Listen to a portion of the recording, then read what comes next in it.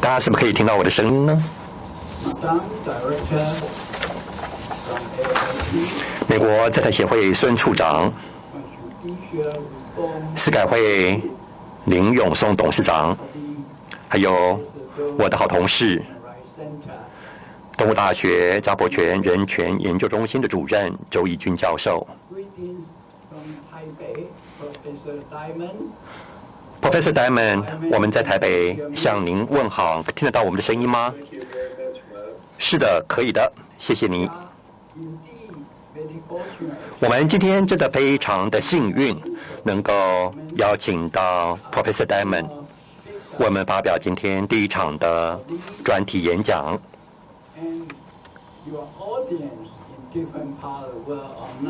我们有来自世界各地的与会者我相信大家应该都会同意我的看法。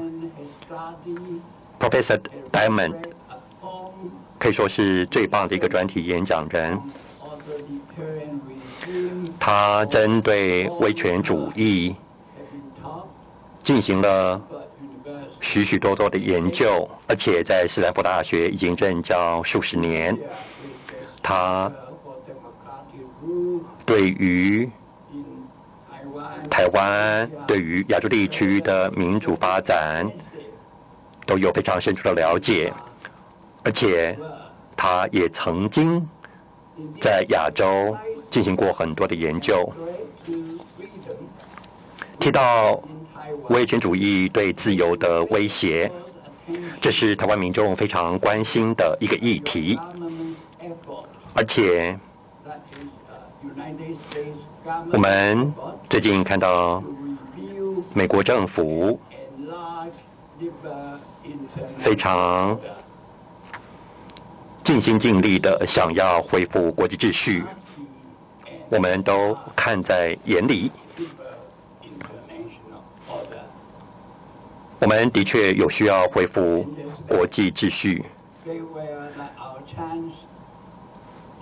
而且我们每个人都希望能够拥有一个和平的生活环境，能够有更好的生活水准，能够生活在一个民主国家，而且其实这有很大的程度要归功于美国的贡献。我相信您今天所发表的专题演讲，其实我们认为是非常有意义的。今天您有三十分钟的时间，主办单位告诉我说安排了三十分钟的时间，由您来发表专题演讲。在演讲之后，我们也会邀请与会者提出他们的想法或者是问题。好，我们现在就邀请 Professor Diamond 来开始进行演讲。谢谢黄教授，谢谢你刚才所做的介绍。我非常的想念你，因为你是我的好朋友。我真的希望我现在人就在台湾，而且我真的迫不及待，希望能够早日的再回到台湾。今天我要探讨的主题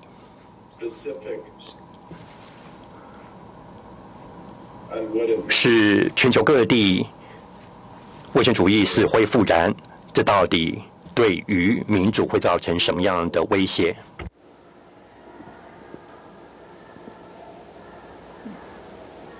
？I think 呃，对不起，好像现在我们面临了一些技术上的问题。达门教授，是不是可以给我们一点时间来处理呢？因为刚才您的声音是断断续续的，好像连线网络连线有一点状况。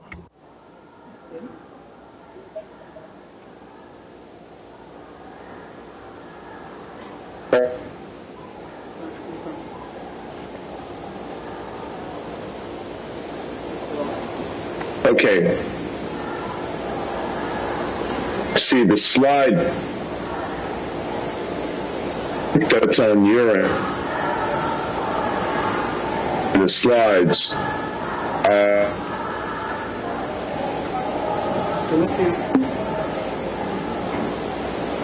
so uh, if you go, there's a quote, a site, please.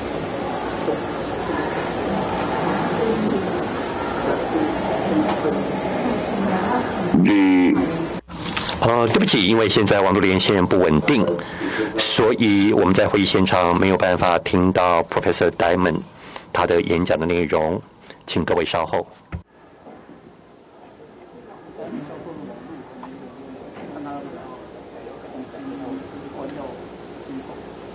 关掉再开。对，因为关掉镜头。Supposed to be advancing. 呃，Hello, Professor. Diamond 教授，听得到我的声音吗？We tend to think that uh, you have some problem on your side. We are not sure. 我们现在网络连线不是非常的稳定，我们是不是可以请你先把你的系统关机之后再重新开机？不晓得 Diamond 教授是不是可以听得到我声音？我们认为可能是在您那一端的网络现在出现了一些状况，所以我们的技术团队的建议是说，是不是可以麻烦您先关机，然后再重新开机，看看状况会不会好一点？怎么样？嗯哼。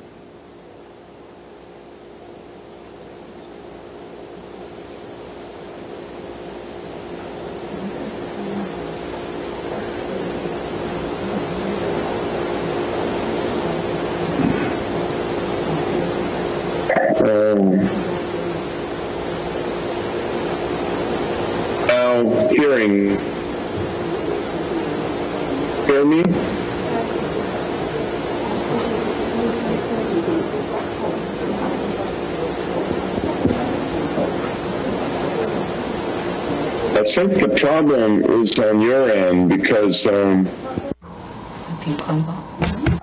，All okay. right. 呃，We will check it. 啊，We we 刚才 Diamond 教授说，他觉得问题应该是在台北这个部分。那黄木教授表示，我们现在会再仔细的检查一遍。呃，All right. Now we can he- we can hear you now. 啊，We can hear you now. Okay. Please proceed. 好的，好像现在我们可以听到 Professor Diamond 的声音了。conference uh, administrators to uh, show the slides. Uh, 接下来要请会议的主办单位帮我把投影片投射到我们的荧幕上。好，我们现在可以进入下一张投影片。uh, I just want to um, let you read this quote from Hannah Arendt. 这是 Hannah Arendt 他所讲的一句话。他这句话讲的是自由历史以来推动人类政治发展的终极目标，就是以自由来对抗专制。其实这也具体的描绘了我们现在所身处的环境。我其实，在两年前出版了一本书，书名是《Your Wind》。当然，现在有了呃一个新的版本。我们继续看下一张投影片。在这边，我要为各位说明，在过去十到十五年，有出现八个主要的趋势。首先，我们看到世界各地的自由跟民主出现了衰退的情形，包括了美国跟欧洲。除此之外，我们也看到在很多的国家。虽然号称是民主国家，可是欠缺法治的精神。除此之外，我们看到过去有很多的民主国家，现在出现的所谓的民粹主义，譬如说匈牙利跟土耳其，也因为这种非自由的民粹主义，摧毁了他们原本民主政治的基础。而第四个趋势，我相信大家在台湾有感受到。可是，其实台湾的问题不像其他国家那么严重。我现在这边讲的问题就是政治的对立越来越两极化，政党之间对立非常的严重，没有办法忍受跟自己不一样的看法。所以在这样的情况之下，就看到有很多极端主义的出现，而且。社区媒体也发挥了推波助澜的效果，出现了很多极端的言论跟行为。第六个趋势就是威权主义的死灰复燃，包括了俄罗斯跟中国，而且也渗透进入很多的民主国家跟自由媒体。除此之外，我们看到民主的价值其实是逐渐的在。示威当中，包括了美国跟欧洲，都是如此。有很多的独裁者也以疫情作为借口，加强了对公民社会的管制。台湾可以说是一个很明显的例外。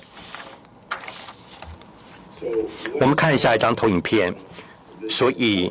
假如我们要进一步的探讨为什么民主会出现衰退，到底我们怎么样去衡量目前的情情势，然后才有办法进一步的探究背后的原因是什么？所以，我们现在所看到的是，在过去十年当中，有很多的。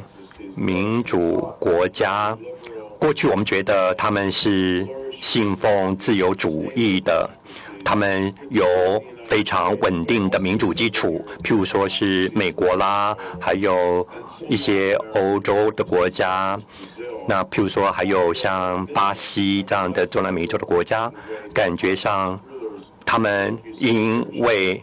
民粹主义的这个发展，譬如说巴西的博萨拉诺总统，他就是民粹主义的代表，所以已经使得他们逐渐的丧失了自由主义的精神。而且我们也看到，这边是印度的总理莫迪，他是。采用对回教徒的一种仇视的这个态度，他完全是以印度教的本位的观点来破坏他们的民主制度。所以我们看到很多的国家，譬如说离台湾很近的菲律宾，出现了。信奉威权主义的杜特地总统，除此之外，还有匈牙利、土耳其、孟加拉。我们看到这些国家，他们的民主制度都在崩解之中。而且，过去即便是威权主义的国家，他们还是会给公民社会一些发展的空间。可是现在在柬埔寨啦、乌干达啦。他们已经越来越限缩公民社会的发展空间了，而且这些威权体制，包括了中国、埃及、沙特阿拉伯、俄罗斯，他们现在所采取的威权统治，可以说越来越肆无忌惮。在这样的情况之下，其实目前的情况是非常危险的。假如我们来探讨一下目前世界各国的民主发展趋势，我们这边去看人口超过一百万的国家，他们过去在第三波的民主发展过程当中，也就是从一九七四到二零零六，我们看到有百分之六十七的独立国家都可以称作是自由主义式的民主国家。可是从二零零六年以来，我们可以很明显的看到这个比例逐渐的下降，而且这个情况越来越严重。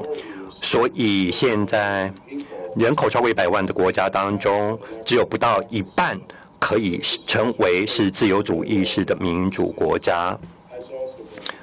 而且号称自己是民主国家的国家的数目也在减少当中。我们看下一张投影片。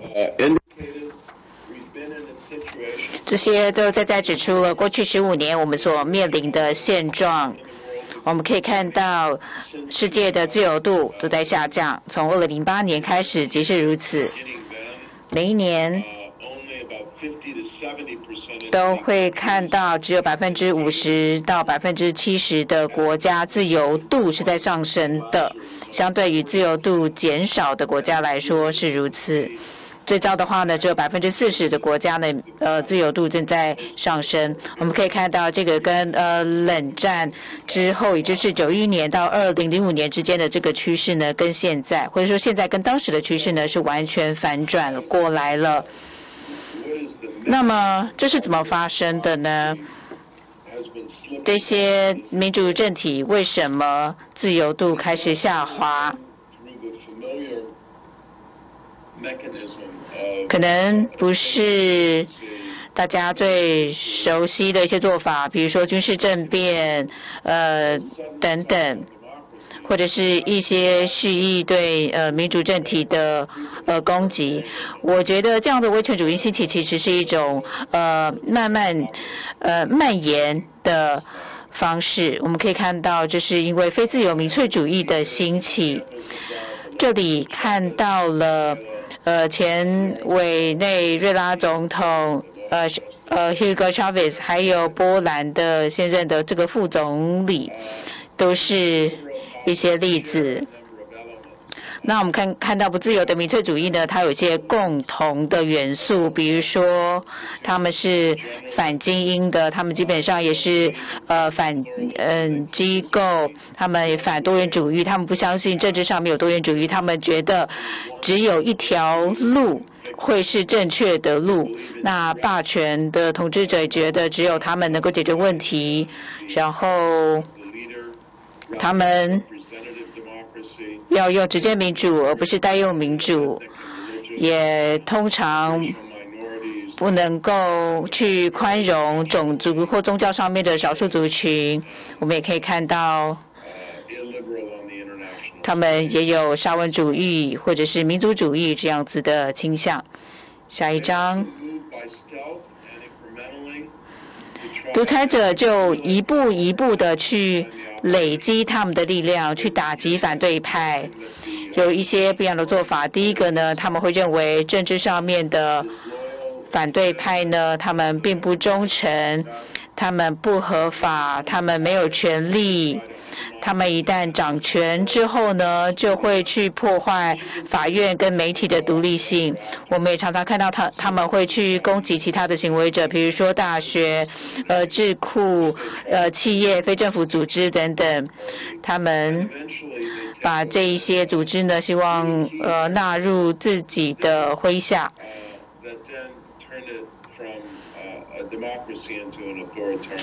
逐渐的将民主政体转为威权政呃政体，那一个我们也可以看到选举制度的相关规则也会受到这些独裁者的呃控制，让他们能够去操控选举的结果。下一章。接下来的问题就是为什么会发生？背后推动的原因是什么？下一章。总结来说，其实背后的原因很多，比如说，呃，政治的机构非常薄弱，有很多国家它没有办法保障法治，全球化。以及工业化等等，也带来了一些呃威胁。我们看到在欧美有一些移民带来的挑战，这个造成文化上面的反弹。我之前提到了社群网站。他们会推播很多的假讯息和对立，造成公民的疏离、不信任。那很遗憾的是说呢，呃，这个中国的大外宣当中呢，有一些真实的地方哦，就是说，哦，西方国家呢，他们去解决问题的能力在下滑，他们呃，这个民主制度也在衰退。那当然，我们没有办法说中国是一个民主政体，但是作为兴起的中国，它在呃制度上跟经济上有很大的矛盾，就跟呃俄罗斯一样，他们呢呃其实有很大的地缘政治的力量，慢慢的去渗透，加上疫情，让这些状况又更加的恶化了。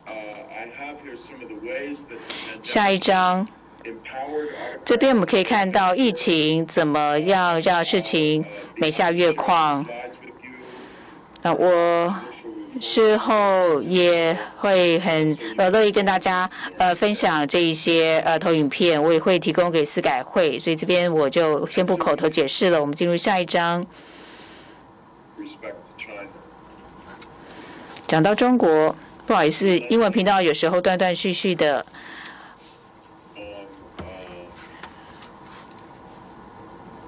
目前口译听不太清楚，由于原因有一些断续的关系。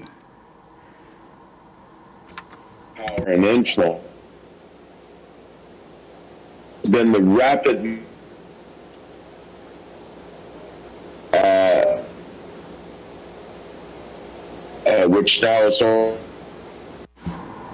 因为频频道目前有些断断续续，无法听得清楚。Lips in the United Uh, it's not only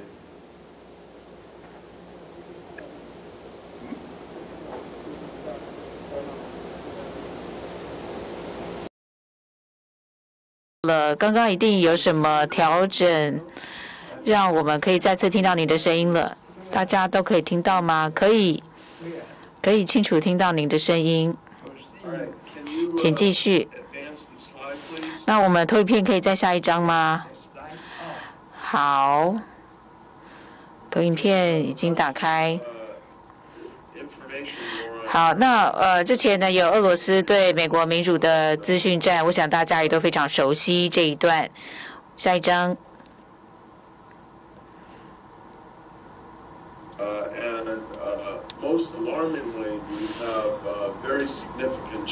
我们也看到了中国的影响力行动。对台湾的民主，对澳洲、欧洲、美国的民主发动了行动。比如说，我们的呃媒体被渗透了，看到中国的大外宣。呃，孔子学院我不是那么担心，因为我认为它不是一个很有效发挥影响力的机制。不过。呃，大学或者是其他呃机构、公民社会，还有呃地方政府呢，有时候会受到一些呃渗透，呃叙述的观点被控制了。那对于新疆不利的言语，比如说针对新疆，呃这个图博还有台湾等等这些言论，也有可能呃会被审查。所以中国想要不断的去推动它的控制力。我们再看下一张投影片，而且现在他们越来越肆无忌惮的去展现他们的力量，包括了一带一路将南海地区军事化，而且他们希望能够取得各国的。基础建设包括了农地、重要的公司。除此之外，他们也希望掌握所有原物料的供应链以及半导体的供应链。他们这么做，最主要的目的就是希望借此来要挟这些已开发国家，所以他们展现了赤裸裸的野心。到底中国要的是什么呢？我们看下一张投影片。我觉得他们要的就是一个全球的优势地位，包括了在东亚地区以及印度太平洋地区。他们希望能够全成为全世界的超级强权。譬如说，他们的中央银行发展数位货币，希望有朝一日能够取代美元，成为全世界最主要的储备货币。我们再看下一张投影片。我们不要忘了，《孙子兵法》当中有提到。故善用兵者，屈人之兵而非战也。我们看到他们所采取的统一战线的策略，而且他们渗透进入澳洲、日本、美国跟欧洲，还有其他的亚洲国家，当然也包括了台湾在内。其实他们这么做最主要的目的，就是不战而屈人之兵。我们继续看下一张投影片，而且他们也进行了所谓的心理政治战。譬如说，这边我摘选出来的是中国的宣传机器是如何在描述美国自阿富汗撤军，基本上。他们最近呢有两篇探讨这个民主的大外宣的文章，他们其实讲的都非常的离谱，在批评西方的民主国家，他们明显的就是在带风向，他们想要透过这样的方式，让美国也好，其他国家也好的民众，呃，对中国有好感。他们在新疆所犯下的罪行，在此之前，还有在西藏，还有我们看到他们在很多国家，还有在很多的地区，都在从事同样的活动。譬如说，在香港，他们逮捕了很多的政治犯。当然，我们今天的会议时间不够。如果要详细的描述中国的罪行的话，可以说是罄竹难书。可是，我相信大家都非常的清楚他们过去的所作所为，所以他们是没有办法容忍其他人对他们的批评。其实，这是可以理解的，因为。他很多人害怕没有办法再入境中国，借借他们担心没有办法继续在中国做生意，没有办法去拜访他们的家人，或或者是说他们会挟持海外华人在中国的家属，借由迫害迫害这些家属，让海外的华人。不敢讲话。我们再看下一张投影片。除此之外，他们过去三十年来无所不用其极的想要取得西方的科技，一样目的是为了建立他们在科技领域的优势地位。譬如说。人工智慧就是一个最好的例子。可是除了人工智慧之外，还有很多其他的技术领域，他们都是处心积虑的要取得优势地位。所以，对于西方的民主国家来讲，如何跟中国进行研究方面的合作，我们不要忘了，中国他们背后都是。想要结合军事跟民间的力量来奠定自己的优势地位，所以在进行科技转移的时候要非常当心，担呃非常当当心。我们看下一张投影片，他们也非常重视资料，譬如说像腾讯啦、阿里巴巴这些拥有大数据的公司，中国就想要控制这些公司。他们有两个原因，因为所谓的资料就是力量，资料就是新的石油。一旦掌握了这些资料，就可以有效的控制人民跟公民社会，而且也可以让他们有更多的机会来控制我们每一个人，而且他们也可以透过机器学习来发展人工智慧。因此，我要再次的强调，这件事情是非常重要的。我们绝对不能够让激进集权政府的这个中国政权能够取得我们个人的还有公民社会的资料。他们取得这些资料之后，就可以掌控我们，限制我们的自由，而且他们也会打造全球威力最强大的人工智慧的机器。这个对这件事情，我们一定要特别的提高警觉。我们再看下一张投影片，最终他们的所作所为是想要瓦解跟抹黑所有的反抗力量。当然在美国的华裔美人